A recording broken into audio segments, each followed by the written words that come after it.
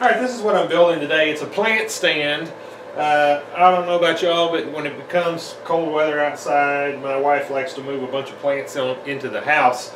And rather than set them on the floor where the dogs will eat them up, or, or where the dog, I only have one dog, uh, this gets them elevated up. It also keeps them from staining the floor and, and all that kind of stuff. Now, this is not meant to be a fine piece of furniture. Um, you know, you, this is something you could build out of pallet wood or something like that. This is just, uh, I mean, you know, it's going to probably get stored in the garage in the summertime and beat up and that kind of thing. So uh, it's just a quick project. Um, I think it looks nice enough to be in the house. Uh, I don't know if I'm going to paint it or not, probably not. But anyway, it's made out of uh, one by threes. Uh, you could use one by fours. I mean, these are actually three quarter inch by, by three inches. Um, you could use one by fours. You know, those of you that watch my channel know I have a sawmill, so um, I kind of use dimensions that work for the wood that I have, so that's what I what I used.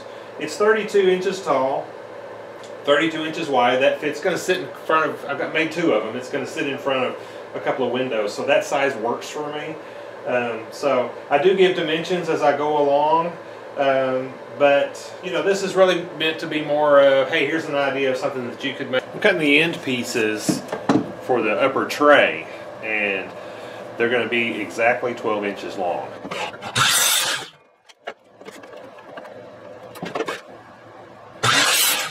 Right now I'm cutting the long pieces for the uh, upper tray and they are, they are exactly 32 inches long.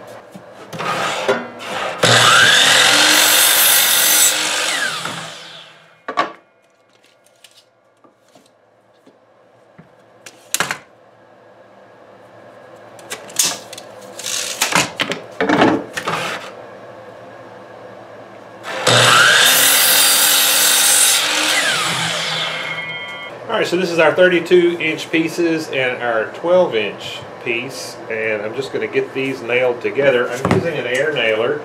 You could use some number 4 finish nails or something like that to put this together with.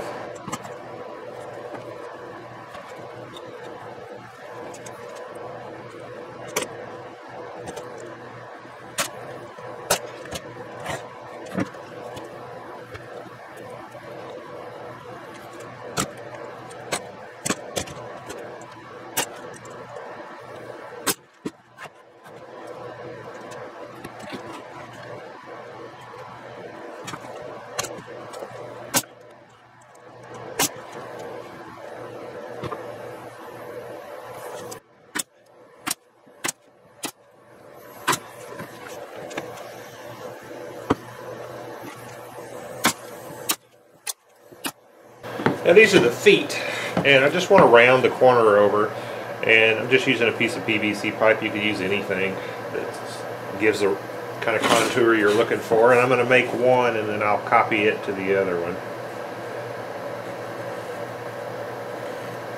Now this is an unnecessary step, and if you don't have any way to round those corners, you could also just chamfer them off, just cut them off or something like that. They, you know, they're going to sit there like that, and this is kind of a a place you could jag a pant leg or something like that. So I would round these off or chamfer them off or something.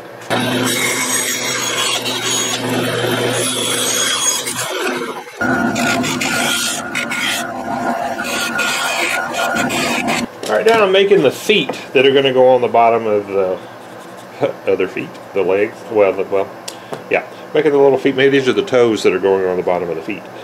But anyway, I just sort of lined it up and said, okay, well, I want it to be about that long. And so that is two and a half inches. So I'm going to need four of these.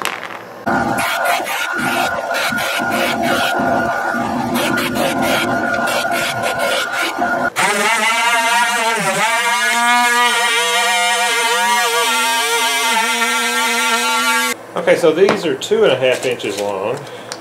And I'm going to set it back an inch and three quarters. And then I've cut a couple of uh, pieces of luan that are a quarter of an inch. I'm just going to use those as spacers, put a little glue on here.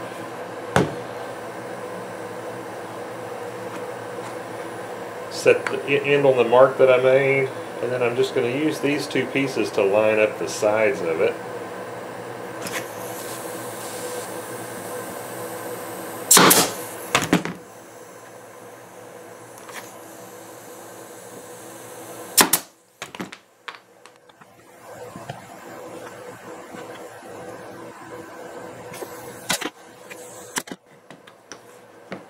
There's our foot. Okay, so to get where to put this board in the middle, just line it up on one end of this big, big piece and measure it. And for me it's 10 inches. Now if you're using 1 by 4s to do this, your measurements are going to be different. So just measure it and then you're going to cut that number in half, which makes it 5. Give you, just make you a couple of little marks right on the edge. 5.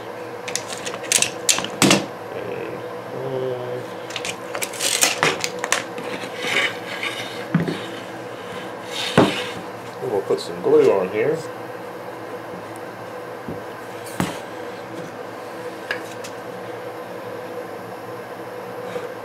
Put it right on the end of the board and those little marks line up right on the edge. I did two of them just to make sure that I had it in the right place.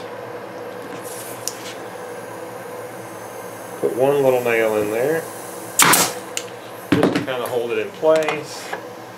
Be sure you get this absolutely square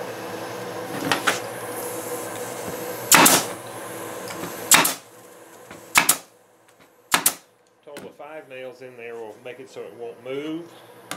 It'll make for a strong joint. Now I've got my frame, this is the bottom edge, and then I've got one of my legs.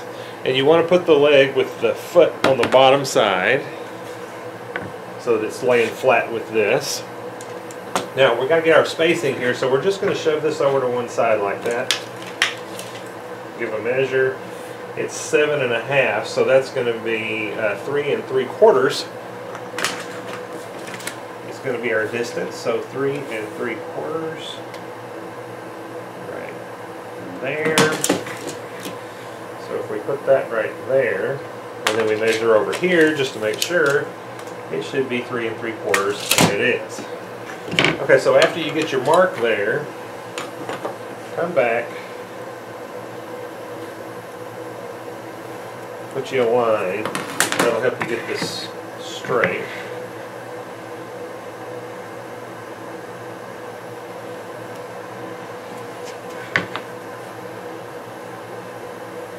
glue. Line the top edge up with the top. Line it up with that edge right there. And put you a nail right in the middle. Just like that. Now this isn't going to hold it very well, but we want we don't want to fix that yet. Because there's nothing worse than building something like this and you put it on the floor and it rocks. So we're just going to have that stay like that. Very gently move it around.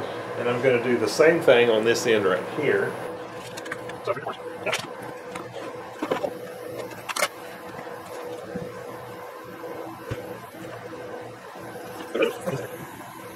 Okay, so I have very carefully moved this into position here. I've got it on a place that I know on my floor to be flat. And so now what I'm going to do is I'm going to line up one of these edges I'm going to go ahead and nail this down.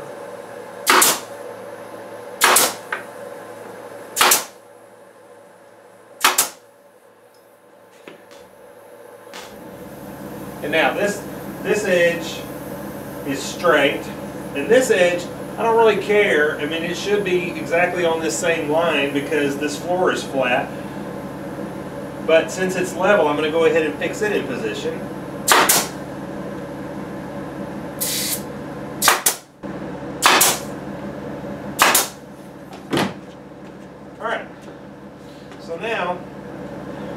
Put this, it may very well be that the floor that I try to put this on isn't exactly level and it may rock a little bit.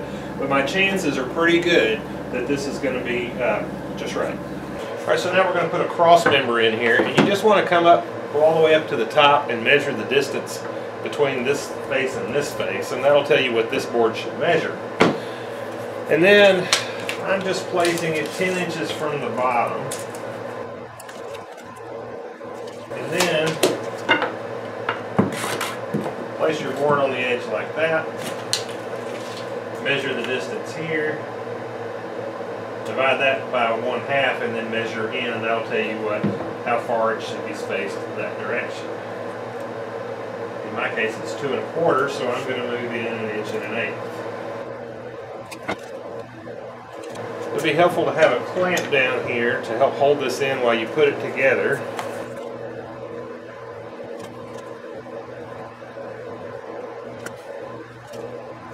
And now I'm just taking a square and putting it close to it so I can look down that line and make sure that I've got this board in there straight and it doesn't, it appears that I do. Maybe a little tweak right there. All right, now I want to use, I'm going to put a couple of screws in here to uh, try to nail this in. The glue is really not going to stick to the end grain of the of this. That that glue isn't going to fix that joint very well. So I want to put a couple of screws in each end just to pull this in and keep it tight. So it's helpful to come out here and measure halfway. Make yourself a little mark.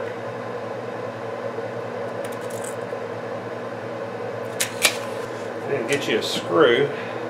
Now, these screws are, it's these um, Spax screws. I'll try to remember to put a link, link to these for you. Uh, they're actually made for hardwood and MDF, but what I like about them is they drill a hole as they go in, and it's really hard to split stuff with them. So I don't have to drive, drill a pilot or anything like that. If you're using a different screw, you're probably wise to drill a pilot hole and maybe a countersink in there to sink the head. These, as you'll see, will go just will go right in. So I'm going to put this right on my mark, the halfway mark, and then look from the front and make sure that I'm down inside the board.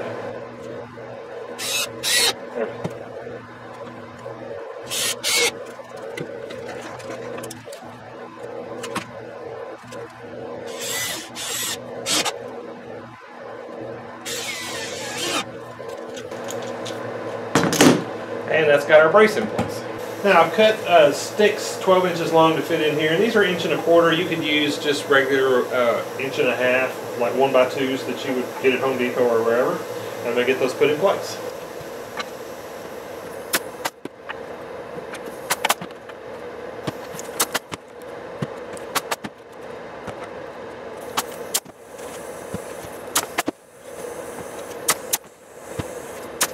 Well, here it is, all finished. Uh, I did, as you can see, decide to put a coat of amber shellac on it. I'm real happy with the way this turned out, and I think it's going to work well for what I need. Well, I hope this video was interesting to you. Thank you for watching.